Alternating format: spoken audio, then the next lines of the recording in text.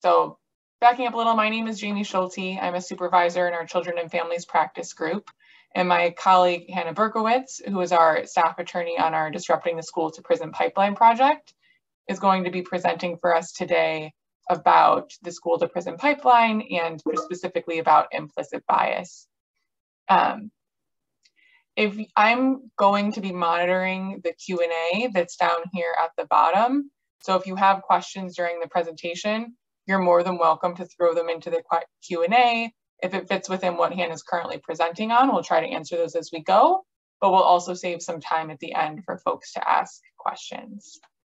Um, Hannah, is there anything else? Are you ready to jump in?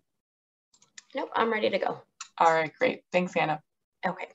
All right, so as Jamie said, uh, I'm Hannah Berkowitz, and I'm a staff attorney on the Ed Law team at Legal Aid Chicago. And along with Madeline Cargill, who's also here today, um, our project paralegal, uh, we run the Disrupting the School to Prison Pipeline project. Um, and this project is really intended to engage volunteers to represent youth in school discipline cases and juvenile records expungement which are the two strategies that we've identified as ways that we can disrupt the school to prison pipeline. But in order to do that, we need to first understand why the pipeline exists, the impact on students, and our role in disrupting it. And so for this presentation, I'm going to be focusing on implicit bias and racial disproportionality in education and how it connects to the school to prison pipeline. And so we're going to start with implicit bias. And we're actually going to start with just a brief video um, into the understanding the unconscious mind.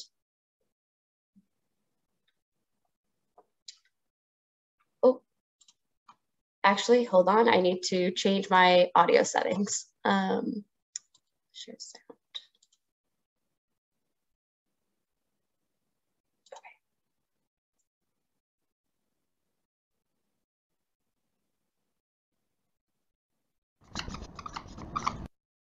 Oh, shoot.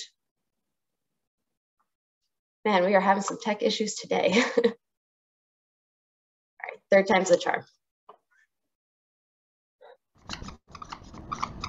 The unconscious mind is amazing. It can process vastly more information than our conscious mind by using shortcuts. Oh my goodness.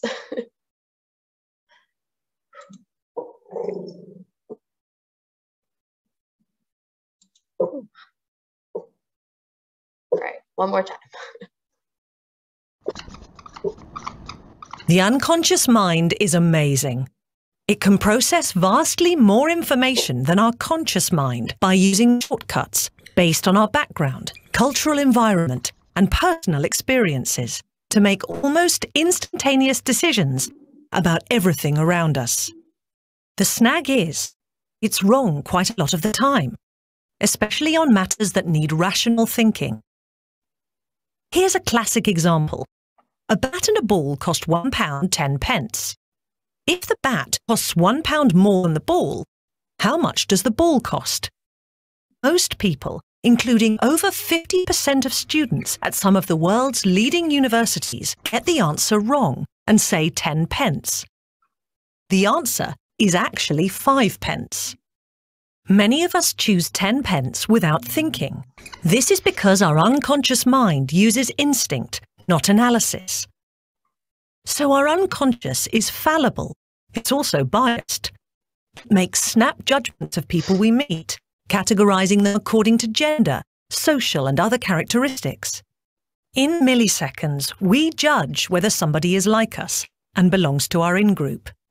These are the people we favour. So men might favour men, while women might favour women. However, we can belong to different in-groups, and we like to be part of an in-group that's powerful, which could mean a woman favouring a man over a woman. That's unconscious bias. All of us have it, and it colours our decision without our realising. Okay, so uh, before we get into the topic of bias, we're now going to do just a couple of activities to help demonstrate the dynamics of our automatic processing, which we just heard about in that video. Uh, so we're going to start with an activity called the Stroop test. And this is done in two parts.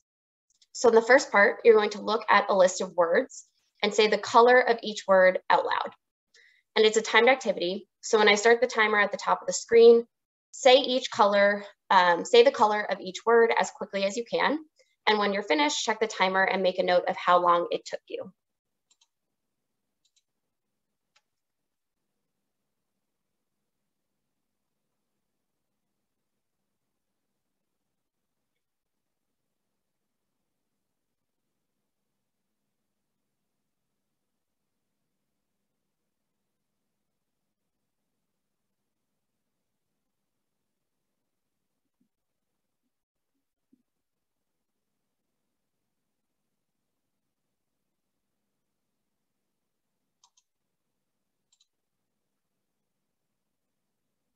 So now we're going to do part two of the test.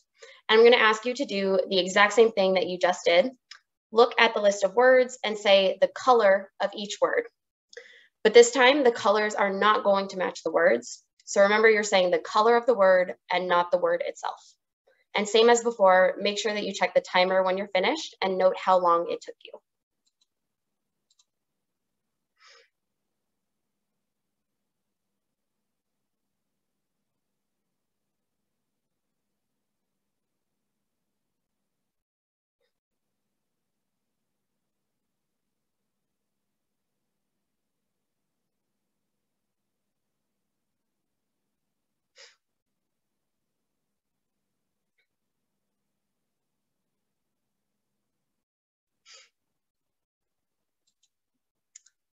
So you'll probably notice uh, that it took you a few more seconds to complete part two of the test. And that's because for our brains, part one is simple. The colors and the words match. So your implicit inclination to read the words that you saw in front of you aligned with the directive you were given, which was to say the color. Then in the second part, that automatic inclination to read the word diverged from the directive you were given, which was to say the color.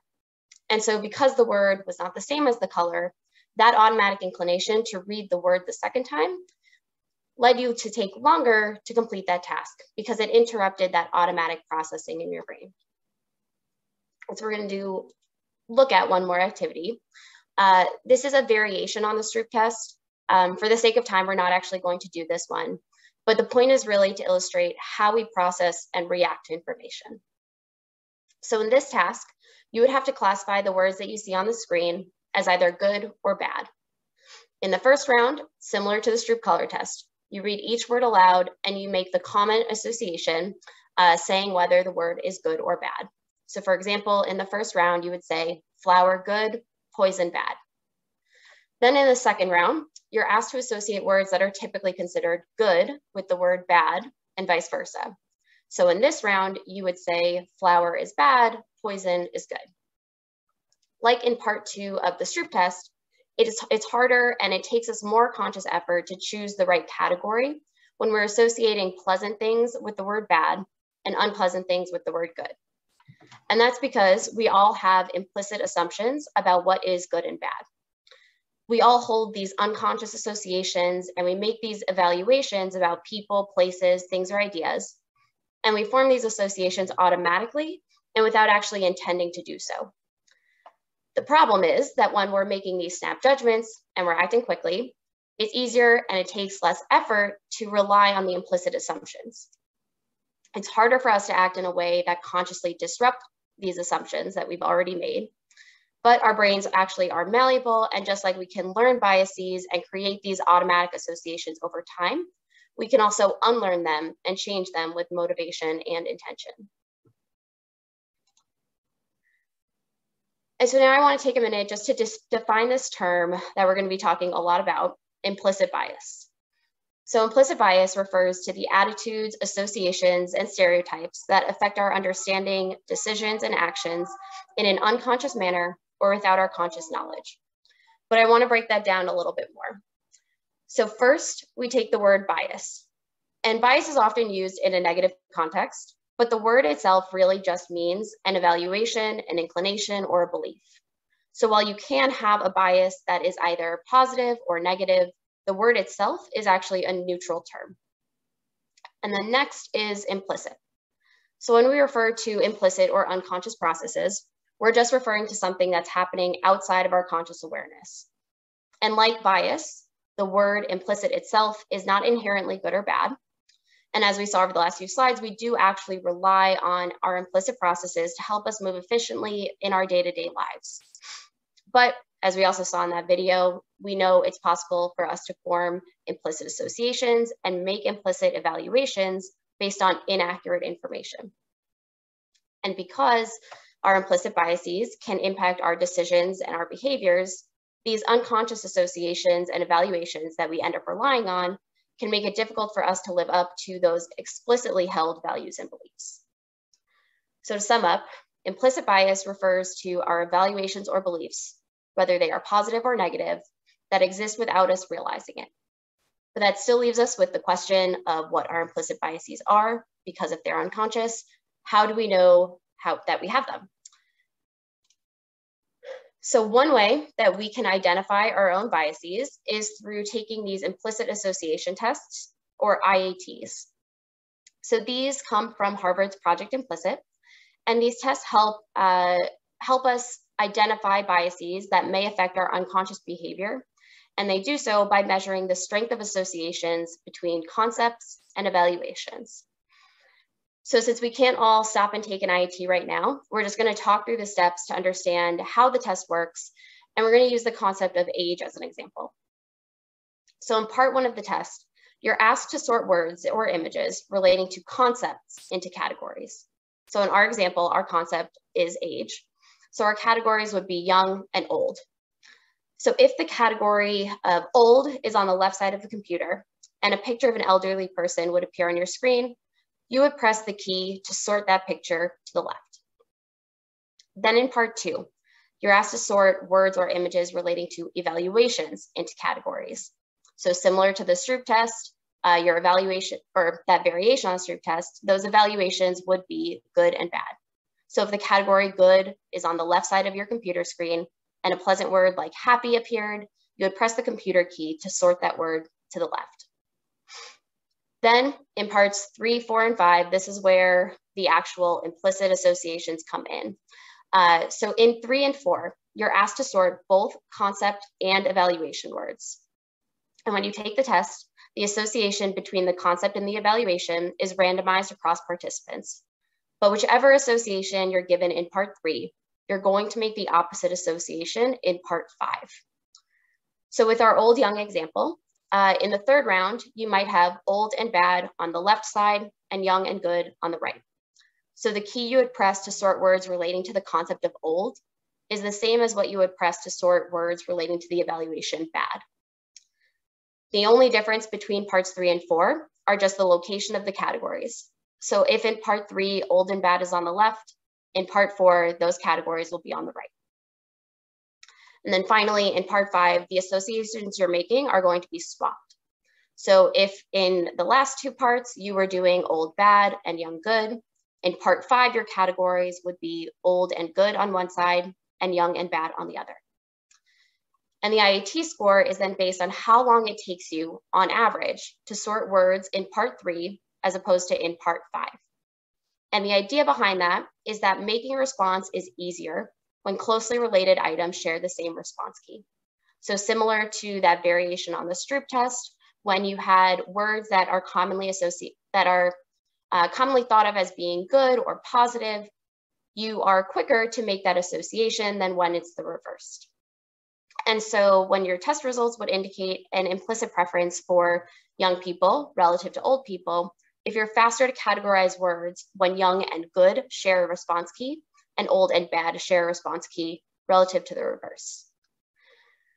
So at the end of this presentation, we are going to come back to implicit bias and we're going to talk about strategies for interrupting our own biases. Um, but as I said, the first step is identifying biases you may have. And so I really encourage you all um, to visit the Project Implicit site after this presentation, take a few IATs on your own and start exploring um, any potential biases you may have.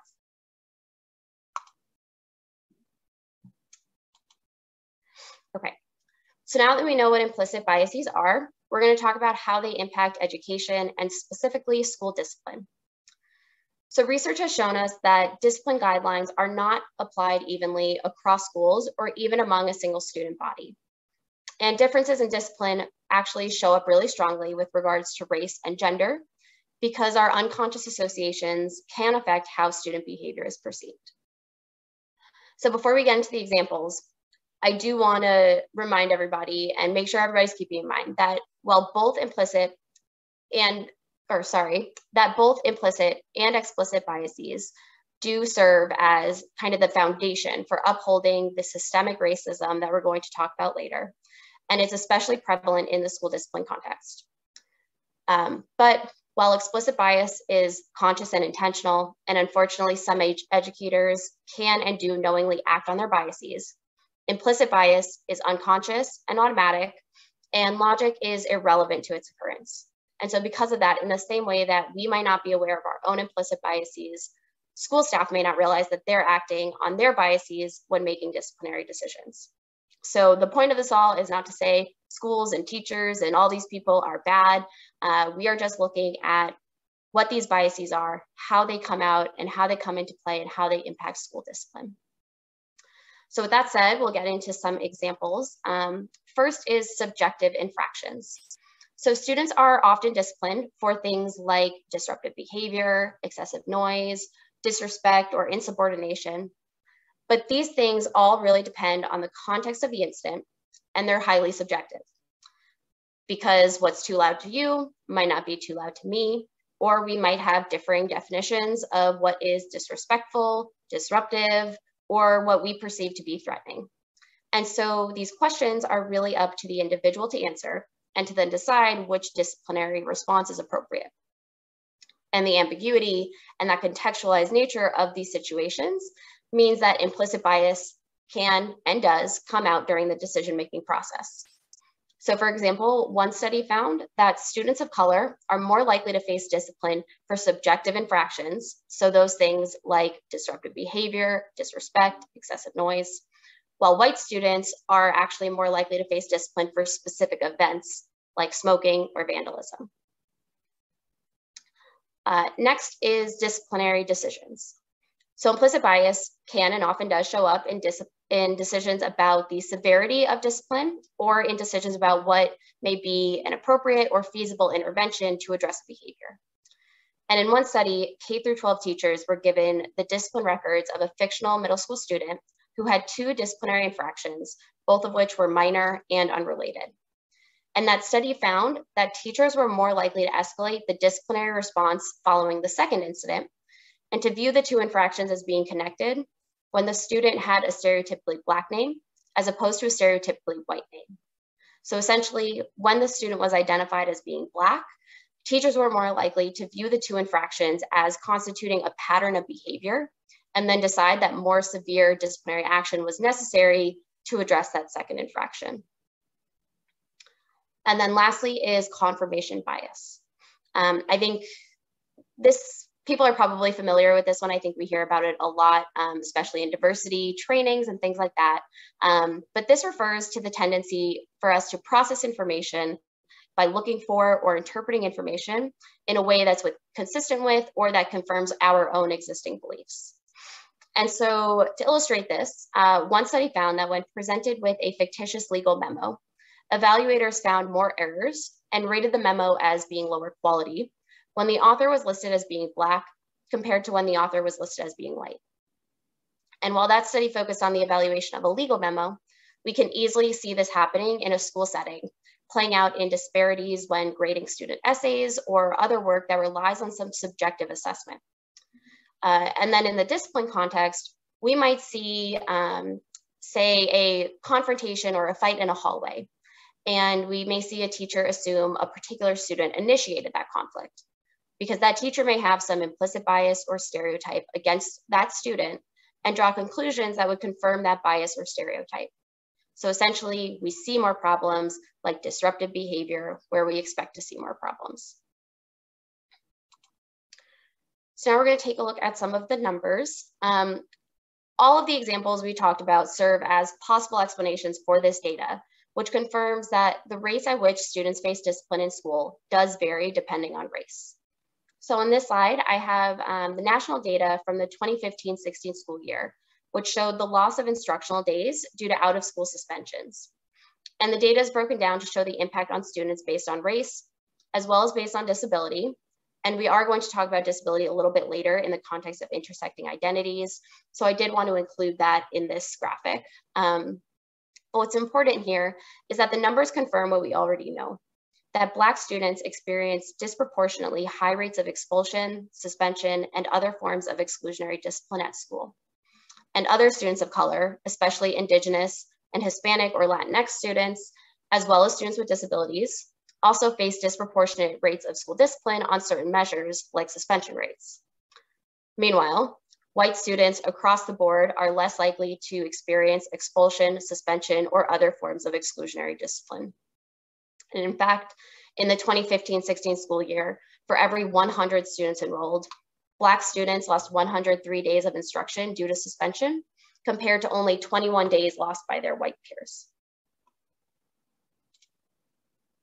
And actually, um, nationally, even though uh, Black students make up only about 15% of the national student enrollment, they consistently face higher suspension and expulsion rates um, than their white peers, but even than other um, than their other peers uh, in different uh, racial or ethnic groups like Hispanic, white, and Asian, Hispanic and Asian, um, as we saw on the last slide, the Native American groups too.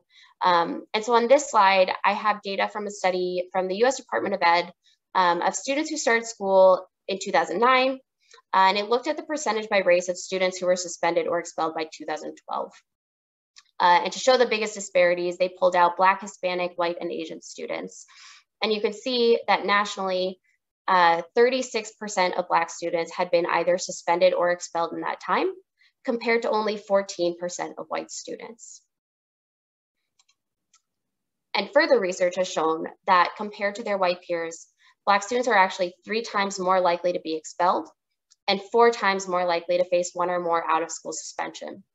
And that disproportionate rate of discipline affects all Black students, regardless of their age because while Black K through 12 students are 3.8 times more likely than white K through 12 students to get one or more out of school suspension, Black preschool age children are also 3.6 times more likely to get one or more out of school suspension than their white peers.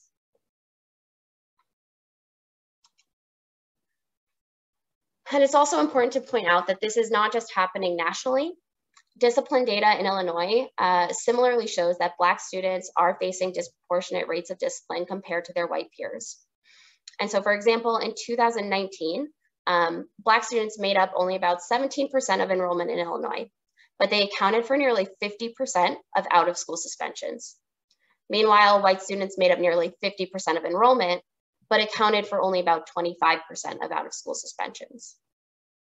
And even in schools where there's a higher enrollment of Black students, these disparities still persist.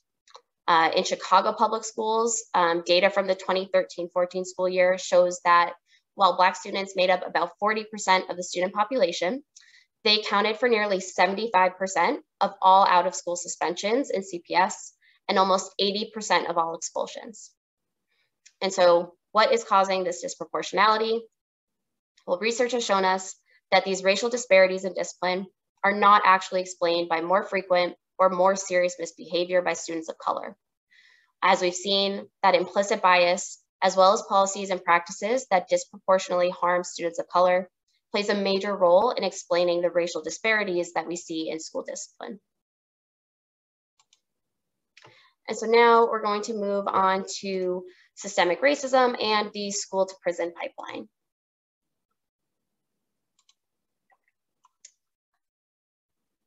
So, as I said, racial disproportionality is not solely attributed to implicit and explicit bias. Uh, systemic policies and practices also play a major role in creating these disparities. And so Race Forward um, published a report in 2014 called Moving the Race Conversation Forward. And in that report, they looked at more than a thousand articles and news stories from throughout the country to identify the most common mistakes that we make when we talk about race. And one of the biggest issues that they identified was this tendency to focus too much on individuals instead of systems. But it's really important to remember that there are actually different levels to racism. And so we'll start with the individual level because this is really the simplest to focus on and the easiest one to recognize in our everyday lives. And when we talk about interrupting our own biases, these are the levels of racism that we're trying to address. So first is internalized racism. This is all of the prejudice, bias, and blind spots that you might have within yourself as an individual. So these are those implicit and explicit biases that we were talking about. Next is interpersonal racism. And this is what happens when we act out that internalized racism on each other. And it's what we most commonly identify as racism. It's things like microaggressions, discrimination, and hate speech. And so while we're all really fam pretty familiar with that individual level, there is another level to that, and it's systemic racism. And at the systemic level, we have both institutional and structural racism. So institutional racism, these are the racist policies, discriminatory practices in schools, workplaces, government agencies, basically within institutions that routinely produce unjust outcomes for people of color. And then finally, we have structural racism. So this refers to the unjust racist patterns and practices that play out across the institutions that make up our society. And so in this section, we're gonna take a look at how um, systemic racism through policy choices, uh, and um, in both institutional and structural racism leads us to these racial inequities that we see in school discipline and the juvenile justice system. And the reason why I wanted to talk about these different levels to racism uh, and why I brought up that race forward, um, that race forward study is because these different levels are often glossed over. And Race Forward actually found that two thirds of race focused news coverage actually fails to consider how systemic racism factors in. But it's a really critical piece to actually understanding racism and especially in understanding our role in the school to prison pipeline. Because when we focus just on the individual level, it distorts our understanding of how racism actually works. And it encourages us to see racism only as the product of these overt, intentional racist acts that interpersonal racism that we can easily identify that can be fixed by correcting individual defects. But it also encourages us to see individual stories of people, groups, communities transcending racism as proof that there is no more racism. But we know that systemic racism is deeply embedded in our society, and the school to prison pipeline is a really stark example of that. And so it's essential that we understand what's actually causing inequities in order to identify ways that we can help to disrupt the pipeline. So before we get into systemic racism, I do want to go back to the school to prison pipeline and really define that term and give you um, an illustration to show how it really works. And so the school to prison pipeline is the term that we use to refer to the policies and practices that serve to push students out of schools and classrooms and into the juvenile and criminal justice systems. So what happens, um, you know, when students are suspended or expelled, they lose out on instru instruction time. And the logical consequence then is that by missing out on class, their learning is going to suffer. But the effects of exclusionary discipline go way beyond the harm of just missing a class. Because research has shown us that when a student is suspended, that student is more likely to be held back a grade and not be promoted. They're less likely to graduate on time they're more likely to be referred to law enforcement, and they're more likely to enter into the juvenile justice or criminal justice system. And so when we look at the impact on a whole, we can see that this loss of classroom time has really this ripple effect, impacting not only a student's current and future education, but also their likelihood of being involved in the legal system. And then once involved in the legal system, it can have even more serious consequences, like impacting their employment options their education options, and their ability to access resources like public benefits and housing. And it all starts with students being pushed out of school and into the pipeline by exclusionary discipline. So in this section, we're gonna take a look at systemic racism in education and in the discipline context, as well as in the juvenile justice system, so we can better understand how the systems work to actually create the pipeline, and again, understand what we as lawyers can do to disrupt that and to mitigate the effects for those who have already been justice involved. So systemic racism impacts a lot of different areas of education, and there are specific racialized impacts that come from our policy choices.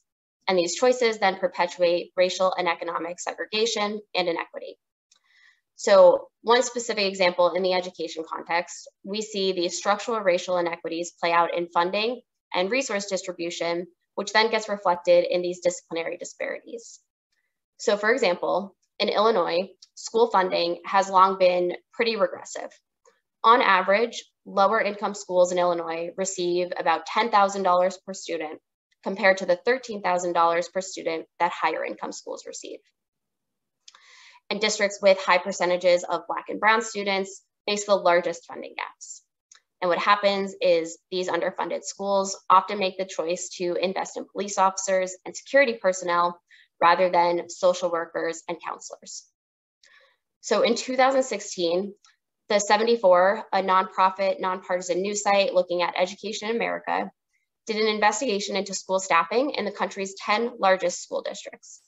And they found that nationally, of the 21 suburban school districts, which are generally whiter and higher income, surrounding our country's largest urban districts, all but one suburban district employed more counselors and social workers than security.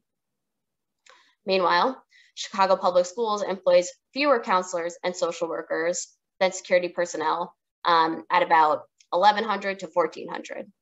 Uh, and so the chart on this slide is from the 74's follow-up investigation, which expanded on their initial report and took a deep dive into um, our largest school districts and the surrounding areas. And they found that of the Illinois district surveyed, CPS was the only district where security staff outnumbered school counselors and social workers. And really interestingly, the only survey district in the area that had fewer counselors and social workers per student than Chicago Public Schools was uh, District U46 in Elgin, which serves largely students of color from low income households. And so you can compare that to um, the numbers seen at Glenbrook and New Trier, commonly more white, middle to upper middle class uh, districts. Um, and we can really see uh, these differences um, and the funding disparities throughout the state. Okay, so we're gonna take a look at a couple more policy choices that we've seen in Chicago and um, what happens from these choices. So first is a choice to open charter schools um, more frequently in areas with students of color. Uh, so what happens then is that this leads to decreased enrollment in neighborhood schools because of the perception that these charters are better academically. And so there's this decreased enrollment in the neighborhood schools that leads to decreased budgets for those schools and then ultimately frequent closures of neighborhood schools because they're being underutilized. And we know that these resulting closures disproportionately impact students of color. And for these students, school closures destabilize their neighborhood and result in academic harms in most cases. Uh, next is the decision to fund a school annex to relieve overcrowding rather than changing school boundaries to divert students to those nearby under-enrolled neighborhood schools that serve more low-income students of color.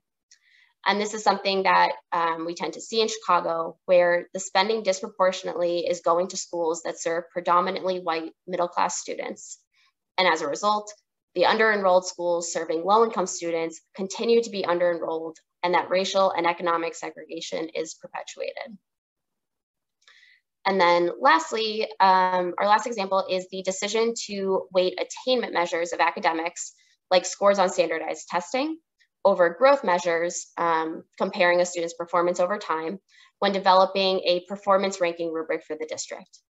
And this choice is made despite the fact that attainment scores are known to be a less informative measure, and despite the fact that standardized tests have been found to be racially biased. And the reason for that is that standardized tests are often designed with these racial, cultural, and socioeconomic biases built in. Essentially what happens is these test designers tend to rely on questions that assume background knowledge that's more often held by white middle-class students. And so what ends up happening is that schools with more low-income students of color end up ranking lower in their performance scores, which then leaves those schools more susceptible to closure or other intervention. So how does this all tie back to discipline?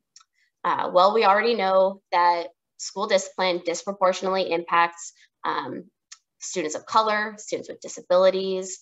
Um, it also disproportionately, disproportionately impacts LGBTQ youth and students in the foster care system. And we also know that these disparities are not actually associated with inherent differences between groups of students. Instead, they're associated with educator bias, both implicit and explicit, as well as systemic racism in the education setting. And when left unchecked, our implicit bias makes it easier for systemic racism to take root. So thinking back to those numbers on school staffing choices, we've already seen that schools with more low-income students of color are more likely to have police assigned to their school, and they're less likely to have other types of supports. So to give you an idea of what that looks like, um, throughout the country, 1.7 million students are in schools with police but no counselors. 3 million are in schools with police but no nurses. 6 million are in schools with police but no school psychologists. And 10 million students are in schools with police officers but no social workers. And one of the main problems is that these police and school resource officers, or SROs, lack the training of social workers or school psychologists who are trained in identifying and providing appropriate supports to address these underlying issues. And in fact, research has actually shown that SROs are more likely to interpret minor behaviors like being disruptive in class or being disrespectful to a teacher as a criminal behavior. And so rather than working with students as social workers and school psychologists are trained to do, they're instead focused on the punishment and removal of these students. And what happens then is that the presence of police and security at school leads to more expulsions and suspensions, particularly for Black students. Um, and actually, between 2012 and 2014, Black students accounted for nearly 36% of all tickets issued by SROs throughout the country and 39% of arrests made by SROs. And these higher rates of ticketing and arrests then leads to students of color being more likely to enter into the school to prison pipeline.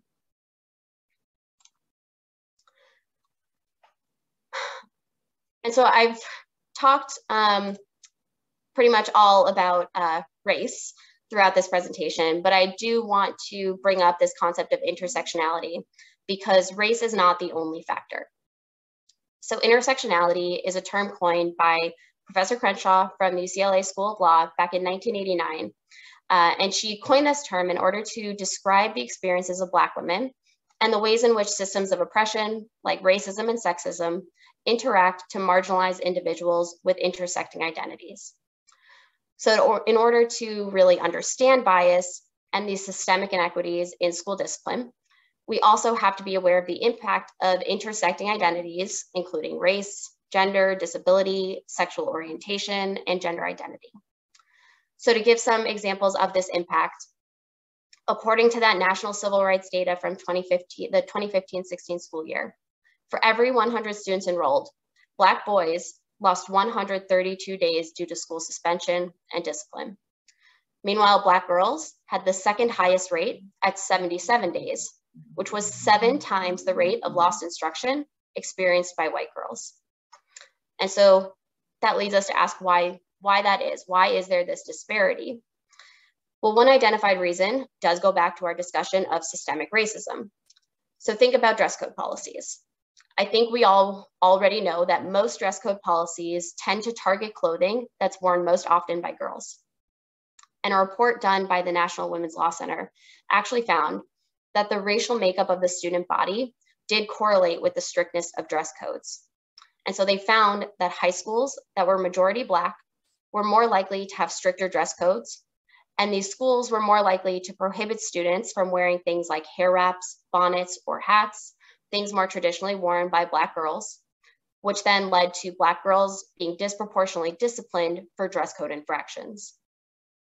And um, with this disproportionate discipline also comes more severe discipline as those number of infractions racked up. Um, similarly, uh, LGBTQ youth of color often report facing harassment and bullying at school based on uh, their race, sexual orientation, gender identity, or all of these things all at once. And they also report being subjected to increased surveillance and policing, along with disproportionately harsh school discipline and blame for reporting their own victimization. And so one more example is the intersectionality of race and disability. So I already brought up um, earlier in this presentation that students with disabilities do also face disproportionate rates of discipline.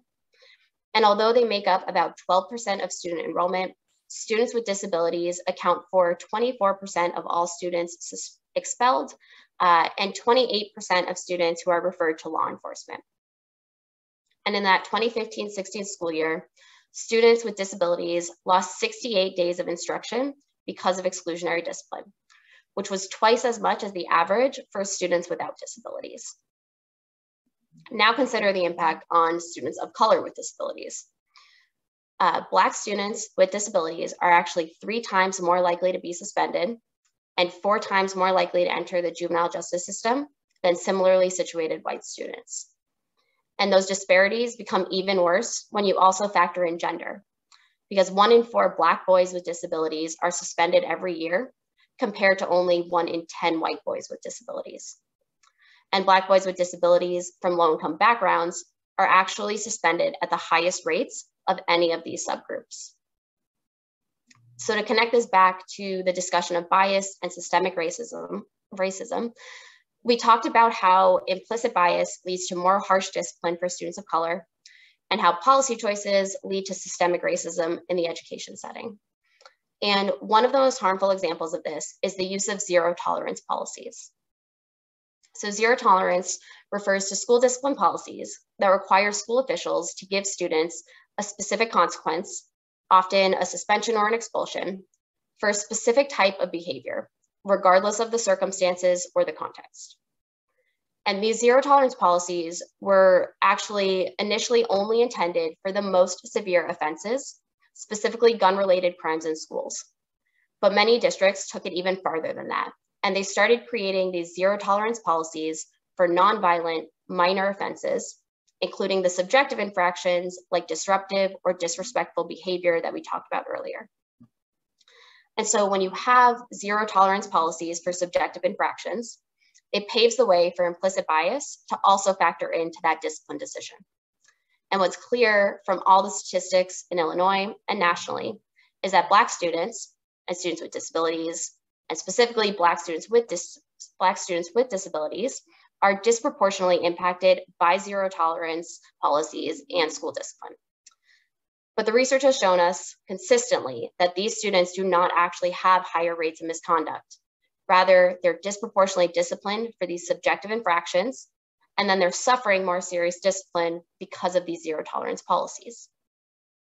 But even as we are moving away from zero tolerance, like here in Illinois, where zero tolerance policies are actually now prohibited except in two limited circumstances, we're still dealing with that impact of implicit bias and these racial pol racist policies.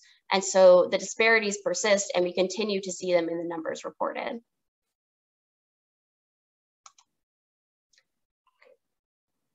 So now that we've talked about discipline, I wanna bring this back to the school to prison pipeline. And what's really important to note here is that with school expulsion comes this ripple effect of consequences, including the increased likelihood of school related referrals to law enforcement. And in fact, kids who are suspended or expelled are almost three times more likely to be involved in the juvenile justice system within just one year of that disciplinary action.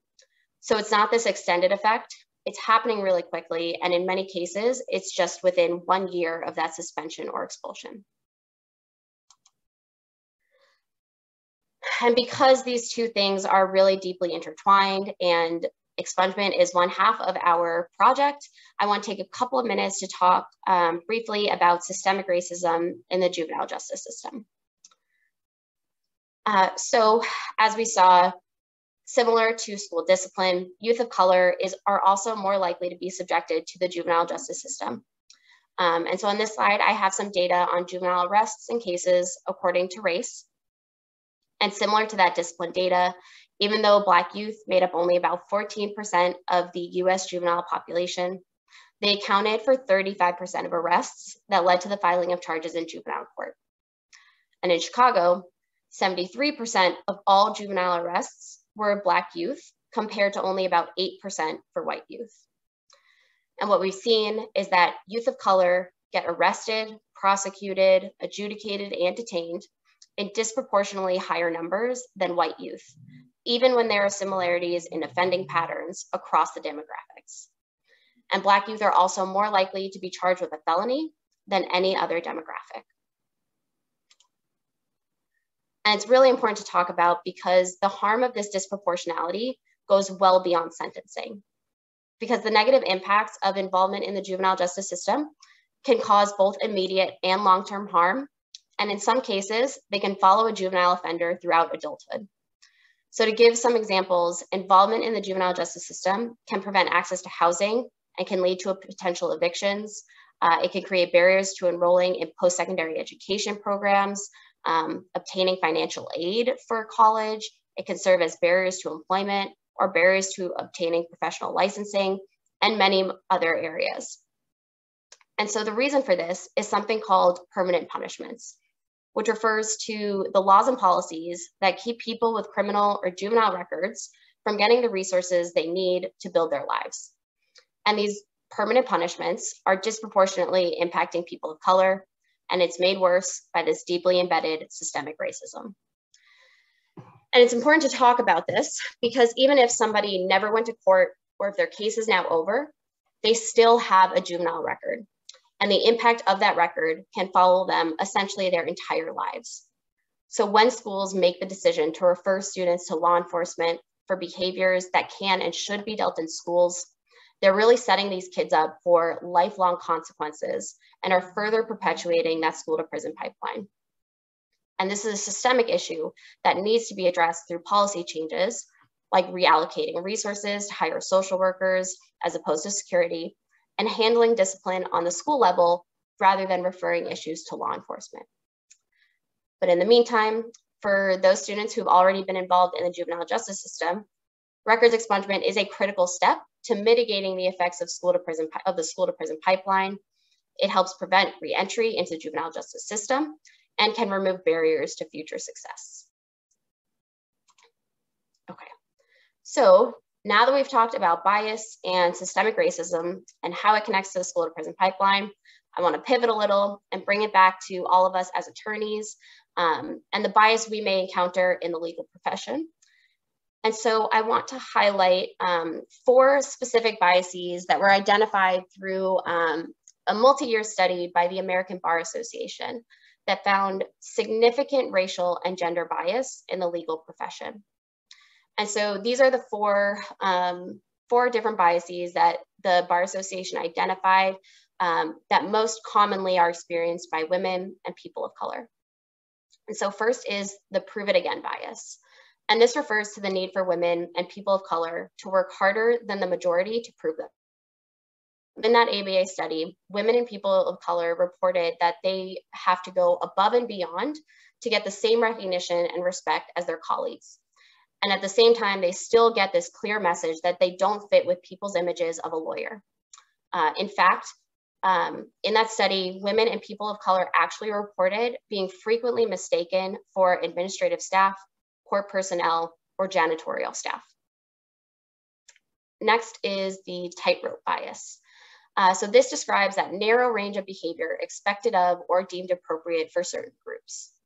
So in the ABA study, uh, women of all races reported feeling um, pressure to behave in feminine ways and also reported experiencing backlash for masculine behaviors um, for things that while a man might be praised for being strong and assertive, a woman may be called um, aggressive, emotional, um, and in ha going hand in hand with that, they also reported being assigned higher loads of non-career enhancing administrative tasks. Um, so doing more secretarial things like note-taking in meetings. Next is maternal wall bias. Uh, and this is gender bias triggered by motherhood where many women report being treated worse when they return to work after having children. And specifically, they reported being passed over for promotions, being given lower quality assignments, being demoted or paid less, and being unfairly disadvantaged for working part-time or using a flexible work schedule. And then the final um, form of bias is tug of war bias. And so this actually occurs when the three other patterns of bias they identified, as well as other types of biases, fuel conflict within a disadvantaged group. So for example, when women receive the message that there's only room for one woman at the top, um, it makes sense then that they will end up being very competitive with other women for that one spot. And even if that's not actually the case, the perception that it is and the message that's being sent by their colleagues has the same effect of creating this intense competition. And so what are some ways that we can actually counteract our own implicit biases? Um, as I said at the very beginning, becoming aware of your own bias is the first step. And so I really encourage you all to try some of the implicit association tests um, because this is a really great way to identify and challenge your own unsupported assumptions. And then once you're aware of your own bias, you can begin exploring techniques to reduce bias, like seeking out um, counter stereotypical exemplars. And studies have actually shown this to be one of the most effective techniques for reducing bias. And what this is, is simply seeking out examples of individuals who contradict widely held stereotypes. And you can do this by sort of visually shifting that narrative using images or stories of individuals in counter stereotypical roles like female CEOs or stay-at-home dads. Uh, another technique is seeking intergroup contact. So this is looking for opportunities to engage meaningfully with people whose identities differ from yours. And then uh, last is perspective taking. Um, this is where you consider experiences from the point of view of the person being stereotyped. And you can do this by reading or watching content that discusses those experiences or by directly interacting with people from those groups. And then the final, um, final tip for counteracting bias is to slow down and take more care when processing and making decisions. Because we're more likely to rely on our implicit assumptions when we're making decisions quickly or when our cognitive capacities are overloaded, like when we are stressed, distracted, under pressure. So it's important to find ways to slow down and carefully examine the information and consider any possible biases or assumptions that may be at play. And one way to do this is by developing checklists or protocols to use at key decision points um, to help you slow down and give you an objective framework when processing these decisions. There's actually quite a lot of toolkits online um, for interrupting bias in the workplace. So I really encourage you all to kind of explore that a little bit more on your own, see what tools are out there and what speaks to you. Um, and then lastly, uh, I do want to bring up how bias um, impacts our interactions with our clients and the importance of being mindful in the ways in which our in which implicit bias that systemic racism and our own power and privilege can affect these relationships. So similar to this advice to slow down, um, one tip for this is practicing mindfulness, because as I said, and as we saw at the very beginning, we're more likely to apply stereotypes and rely on our implicit assumptions when we're making automatic snap decisions or when we're stressed, distracted, or under pressure. So it's important to practice ways to reduce stress, increase mindfulness, and really be present when interacting with clients. Another tip is engaging empathetically with clients. It's really important that you consider your own background and assumptions, and also make sure that you're not imposing your own assumptions about your client or what's best for them on your client. Uh, and it's really helpful to, in doing these um, initial intakes, conversations with clients, advising them, that you acknowledge that you're often asking very personal questions. And so it's really important to take time to listen to your client, to build empathy and trust, to get your client to open up with open up to you. And then lastly is practicing active listening. Um, this is most important to help your client um, feel heard and for you to also understand make sure that you're understanding what your client has communicated. So it's really important to take time to summarize or restate what the client has said, to check for understanding and make them um, feel and understand and know that you are listening to them and you're taking in what they're saying and that you're acting based on um, your client's goals and their best interests. And then finally, I just wanna make one final plug for our Disrupting the School to Prison Pipeline project. Um, this school year, since kids have gone back in person, discipline has really been ramping up and cases have been coming in pretty regularly. So we are looking for volunteers to take discipline cases with us. Um, but we also understand these can be more of a time commitment. Um, so if that's a concern, we do also have our expungement work. The time commitment for those cases is only about one to two hours, and there is never a shortage of expungement cases. So we always can and are always looking for more, um, more volunteers. Um, and the really great news is that you all just completed part one of our training. So whether you're interested in our discipline work, juvenile expungement, or both, um, you can just complete the relevant sections of our online e-learning at your own pace. And then once you're done, you're all set to sign up to volunteer. So if you are interested in volunteering with us, or if you'd like more information, please contact Madeline. Her information is on this slide and at the end of the presentation. Um, I have her contact information here. Uh, and then also at the end, um, and I think we'll share up these slides, but I do have some of the sources. If any of you are interested in reading more about some of this research, implicit bias, systemic racism, um, and exploring your own biases. So I have those sources for you as well. Uh, and that's all I have. Um, did we get any questions? Does anybody have questions? Yeah, so we didn't get any specific in the question and answer, although there was a question about being able to share this presentation. It is our hope that the presentation is properly recording and we can share that. And as Hannah mentioned, we also intend to send out the slides for you all. Um, it may not be until tomorrow or potentially Friday, hopefully the latest, just based on some staffing and technical things of that nature but we will work to get this out so everybody can see those sources that Hannah shared, as well as the other, you know, the links and the slides and things like that. And I did drop in the chat the link to the IAT from Harvard if you are interested in participating and kind of using some of those tests that Hannah talked about. But at this point, if anyone has any questions they want to share, you can share them in the chat. You can raise your hand. If, if it doesn't allow you to unmute yourself, then I can, I think, unmute you if you raise your hand. Does anyone have any questions they'd like to share on?